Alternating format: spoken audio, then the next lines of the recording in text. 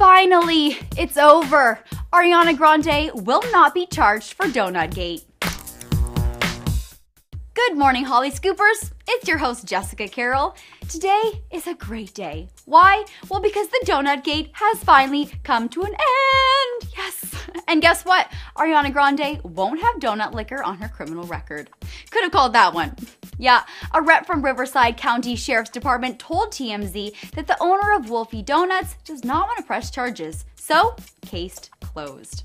Now, in case this is the first time you've ever heard of the Donut Gate, which I would be seriously surprised considering it's been making headlines around the world for way too long, let me give you the 101. Our girl Ari was caught licking donuts on video published on TMZ, and while police were investigating the case, Grande went on to issue two apologies, one written and one videotaped.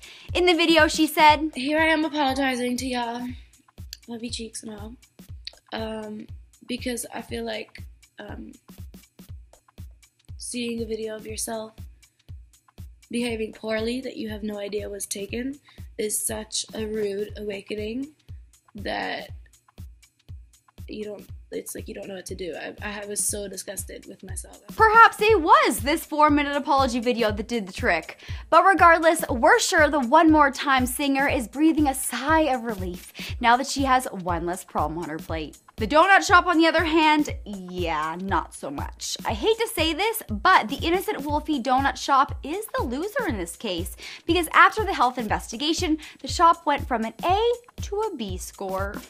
So sad. Ariana tweeted yesterday, quote, Love you babes so much. Can't wait to get to Tampa, sing for y'all, and grab as many hugs as I can. Talk to you very soon. Oh, and I missed you the most.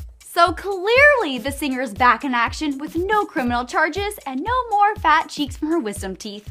Are you guys happy with the results, or did you want to see Ariana get a little bit of a spanking? Let me know below.